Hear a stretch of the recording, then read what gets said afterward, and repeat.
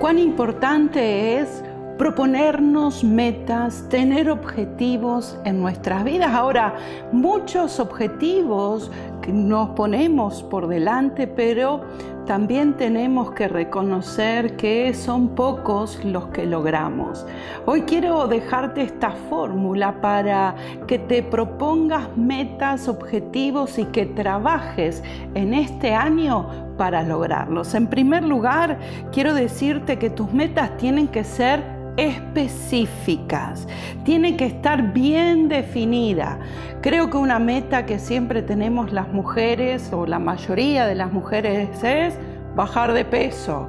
Esa es una meta que no es específica. Tenemos que decir cuánto queremos bajar, eh, cómo lo voy a lograr.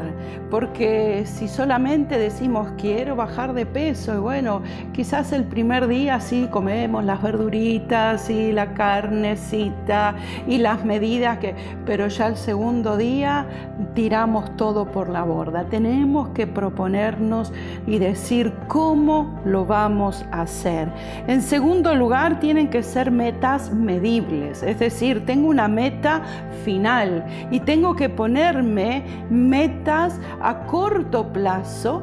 Quiero bajar 10 kilos. Sé que no lo voy a hacer ni en una semana ni en dos, que esto lleva tiempo. Entonces, metas medibles. Esta mm, semana voy a lograr este esta medida, hasta aquí voy a alcanzar. Es como romper la meta general en pequeñas porciones para ir logrando resultados. Lo próximo es proponerme metas que son alcanzables. No puedo decir eh, voy a bajar 100 kilos.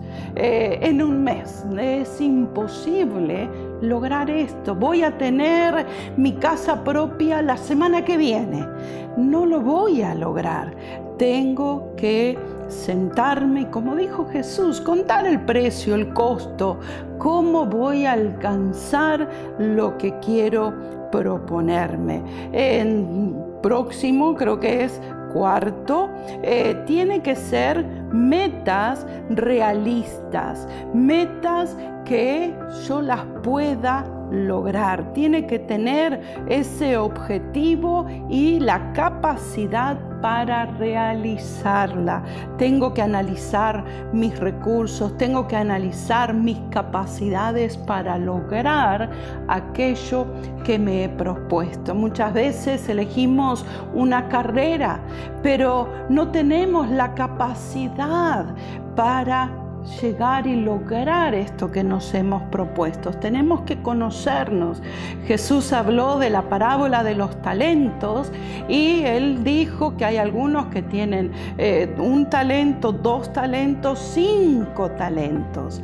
Eh, no somos menos porque tenemos un talento. Lo importante es reconocerlo y saber que a ese talento lo tenemos que multiplicar. Y por último, tenemos tenemos que ponerle un tiempo final. Tenemos que decir, bueno, esto lo quiero lograr en tanto tiempo. Si no ponemos una, lo que se dice en inglés, un deadline, un tiempo límite, nunca lo vamos a lograr porque es como que, bueno, no importa, algún día lo lograré. Así como las boletas, las facturas que nos llegan de la luz, del agua, tenemos un tiempo en que hay que pagarla. Hay allí una fecha que si no pagamos se corta el servicio. Nosotros también tenemos que proponernos esa fecha límite para esforzarnos y lograr aquello que Dios ha puesto, esos deseos que el Señor ha puesto en nuestros corazones. Te bendigo, querida mujer, y que este año sea un año de metas logradas, alcanzadas y conquistadas.